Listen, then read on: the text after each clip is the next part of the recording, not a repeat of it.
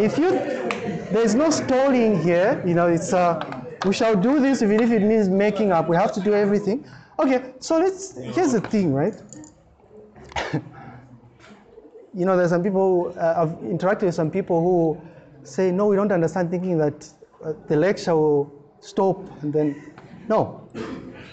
Uh, we shall do this. Here's the thing, right? Um,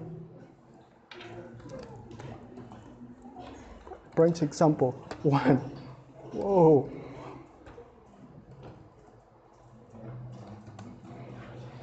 Okay. Program illustrating branching, right? So let's let's say we are writing a program program to check if um, if if value equals 2.5. Same example.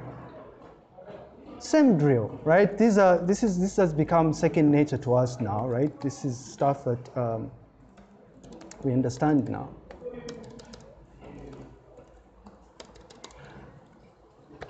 What we're saying is, you, you're interested in implementing a program that's going to check if a value is equal to 22.5. So you already, you already have, you already have the number that you're going to be comparing against.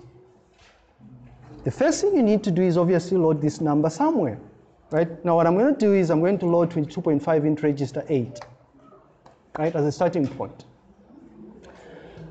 And then because I'm interested in checking. That's in main. Yes, it's in main. But because I'm interested in checking whatever random value someone is going to use with this, I need to, I need to um, account for that random number, right? Uh, and we can, we can do different things. We can prompt the user to enter it, but we'll simplify things. Let's just say we'll hard code it again. Let's assume this is value entered by user, right? And then we just assume the user has entered 30. We're just assuming the user has entered 30. The way branch if equal works is we're saying BEQ, that's instruction, it's predefined, branch if equal. It takes in three arguments, right? Registers you're comparing against. You're going to branch if, in this case, if the value in 8 and in 9 are equal, I'm going to tell this piece of program to say branch to, let's say, uh, I'll call this equal label something.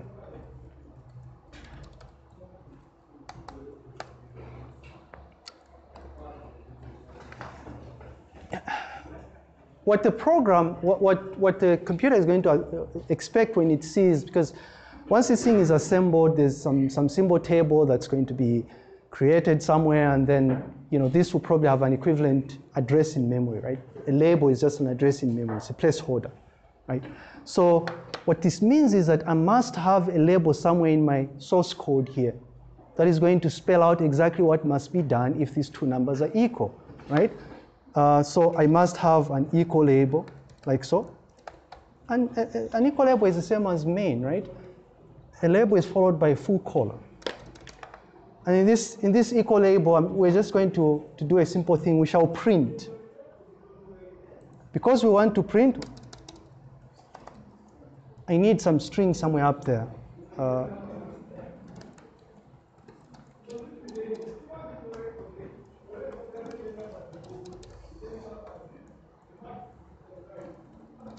and just for simplicity, uh, uh, uh, simplicity's sake, I'll just say the string is going to be values are equal. So what we're saying is, in here, in, e in e equal label, what we wish to do is if the two numbers are equal, we wish to just print to the console to say equal, values are equal, right?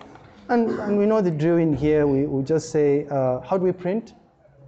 V0, 4, right? syscall, but up here we need to load the address of, um, of the string, right? var equals.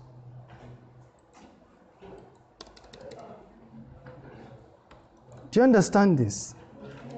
What I'm doing from line number 15 is something that must be done, by the way, and I'll explain just now, 14 and 15. But observe what happens. If I open up QtSpim and assemble and, and run this program, um,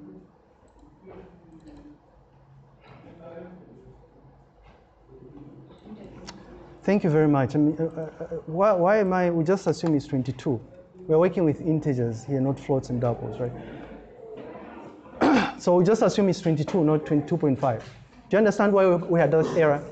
We're, we're, we're not working with coprocessor one, we're just looking at integers, we're simplifying things here, right?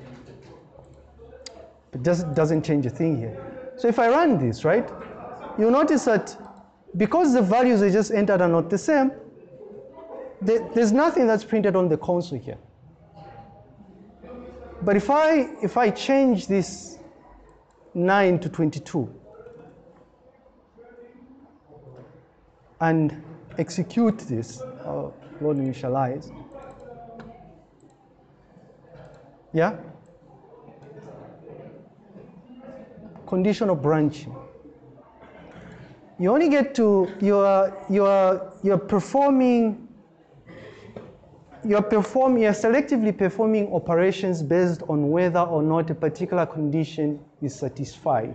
This is what we're saying. And really, if you look at this, what you can do here is do fancy things like, ah, well, fine, if I have this condition, then maybe I might be interested in having another condition, a branch if not equal, right? To say, if they're equal, I'm going to branch here. But what if they're not equal? What do I do? You have a B and Q, right? So it's just a logic. Just need to understand how you use the instruction for branching. The rest is just, you know, logic. How do you go, go about implementing what needs to be done when the two values are equal? Is this making sense now?